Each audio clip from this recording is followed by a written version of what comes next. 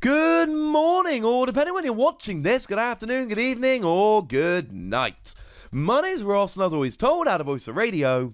So today, we need to be taking a look at the Pokemon V of one of the coolest new Pokemon that came around in the Sword and Shield expansion. It's Grapploct V. I like Grapploct. One of my favourite, probably in my top half dozen Pokemon from Sword and Shield. It's a fighting octopus that's all blue and yellow. It's basically a Swedish fighting octopus. Who's not getting on board with that? The question is, is it a good card? And the answer is yes. I am willing to go out on a limb right now and say, yes, this is actually a really good card, and I consider myself quite the fan. Though I'd prefer it if it has a V Max. At the moment, it does not. Our translation here does come from the lovely Antoine Boulet. Stop me if you've heard that one before.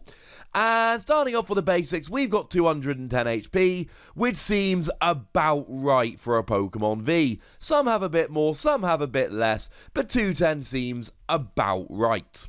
We've got a retreat cost of 2, which does mean you get access to Air Balloon for free retreat, which is nice, because you might be wanting to retreat this bad boy. You've got a weakness to Psychic, which with Mewtwo and Mew running around, I'll be honest with you, isn't phenomenal. Mewtwo and Mew is going to be able to do stuff like copy the second Solgaleo GX and get a one hit KO while accelerating energy. That's kind of sad. But outside of that, maybe you'll be alright. And you're a fighting Pokemon. Being a fighting Pokemon is awesome.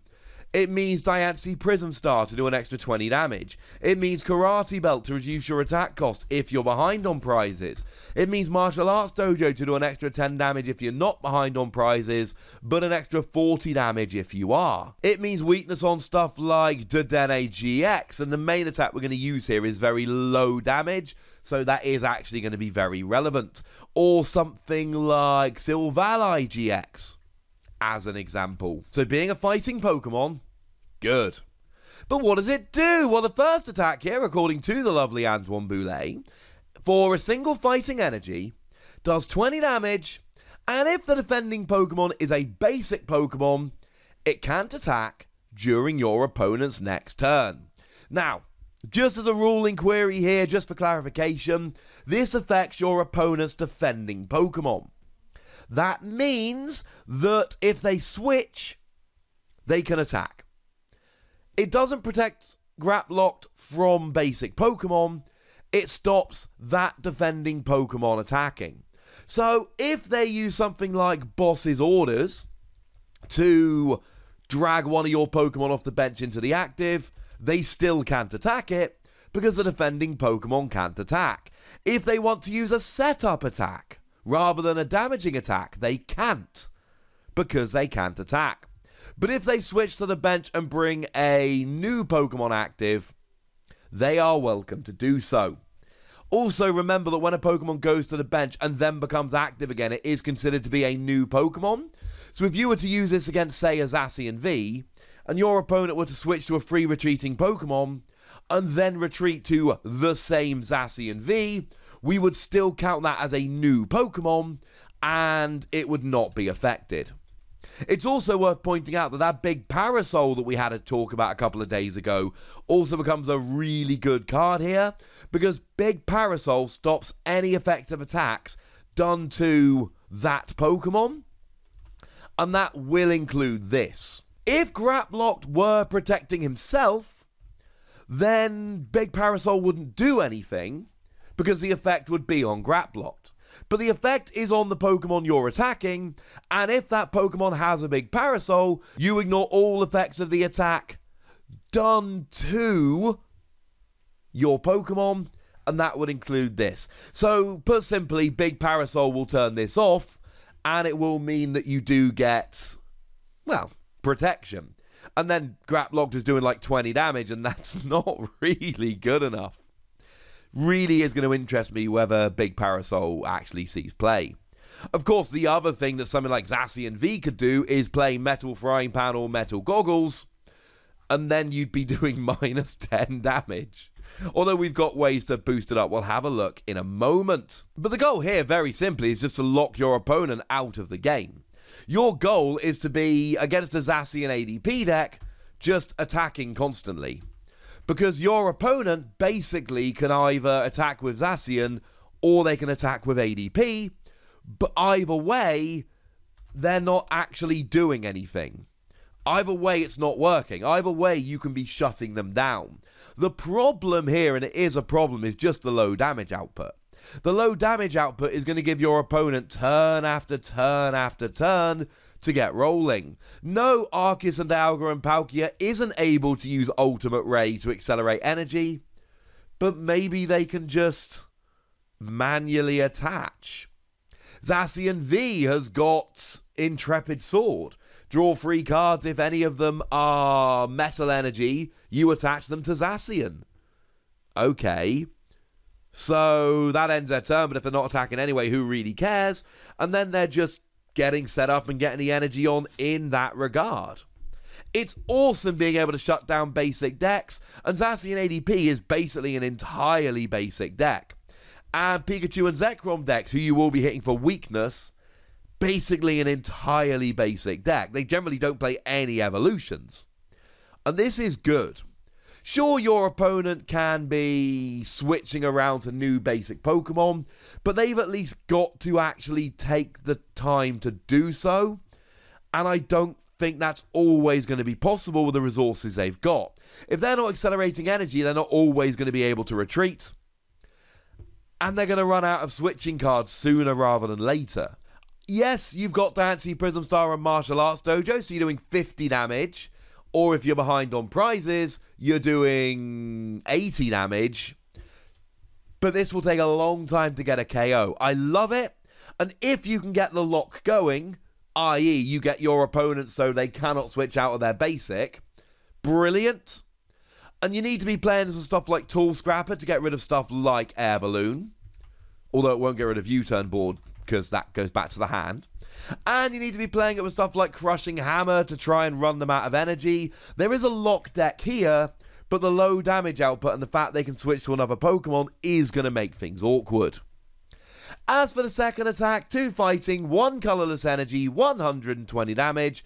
Flip a coin, if heads, it does 100 more damage.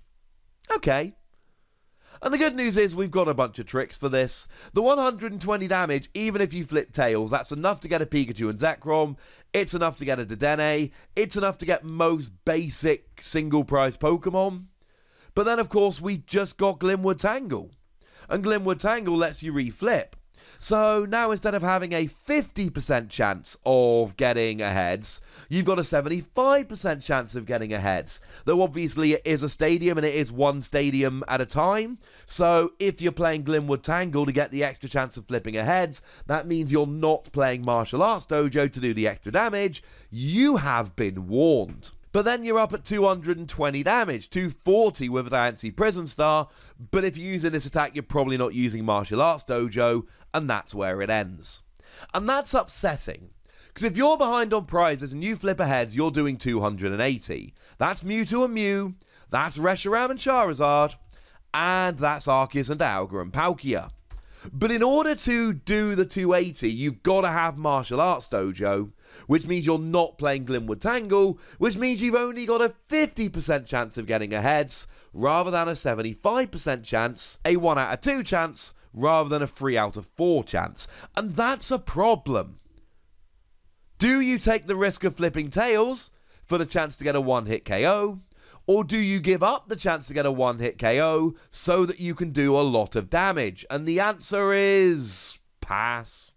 Depends on the board state, depends on your opponent's deck. If it's desperation mode and you need the KO right now, you go martial arts dojo and cross your fingers. If you don't need the KO right now, then you probably go martial arts dojo, get a lot of damage on the board. Obviously, if you're hitting for weakness, then the 120 with Diancie and Martial Arts Dojo will be enough here. You'll you'll be fine. Even against Snorlax V Max, you're doing 180, which doubles to 360. So even a Snorlax V Max will be going down here.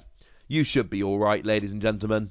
You should be all right. I love Grapploct as a Pokemon, and I love this card. Personally, from a personal standpoint, I adore this card. Looking at it competitively, I see a huge amount of advantages and a huge amount of awkwardness. The first attack is awesome, but your opponent can switch their Pokemon and the damage output is quite low. The second attack does a lot of damage, but you really need two different stadiums to take advantage of it, and that's just not possible.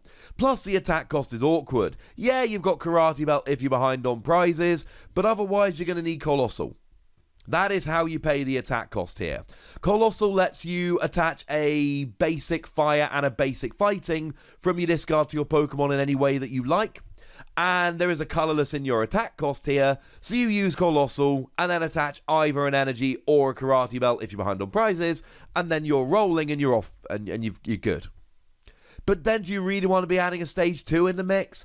This isn't a, as soon as I get this attack rolling, I'm going to win the game.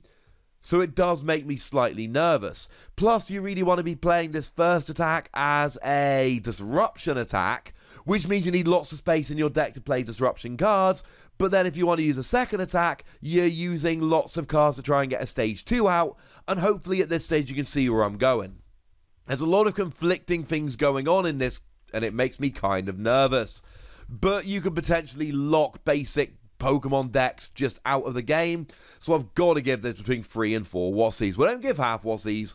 That would be barbaric. There's a lot of potential here. And I don't know if it's going to come straight out and be the best card in the format, but I absolutely do think this has so much potential that we could see a great game with it. That's what I think, but I'd like to know what you think.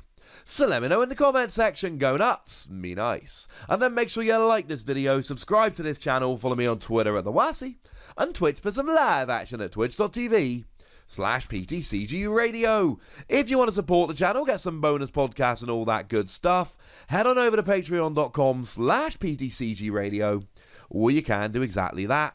And please do make sure you're checking out youtube.com slash Plays, where you can find out about a whole bunch of games that don't have Pokemon in, but are pretty gosh darned awesome nonetheless. But by far the most important thing as always, look after yourselves till next time, would ya? Thank you very much for watching. My name's Ross, and you've been watching PTCG Radio.